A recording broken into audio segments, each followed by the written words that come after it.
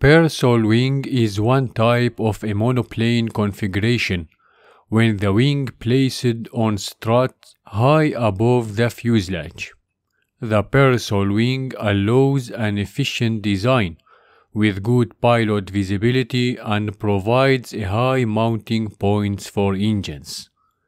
So it provides another alternative to flying boat design which need to lift the propellers clear of spray. Therefore, the configuration can be applied to land-based aircraft. In a parasol wing design, the wing is a separate sub-assembly component without a direct fuselage assembly joint. Instead, the wing is secured over the fuselage on a pylon or with a cabin strut center wing support, with or without additional wire bracing.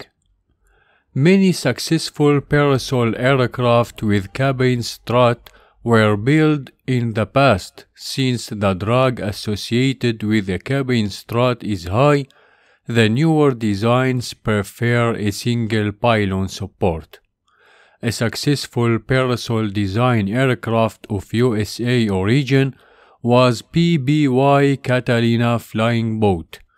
Compared to a biplane, a parasol wing has less bracing and lower drag.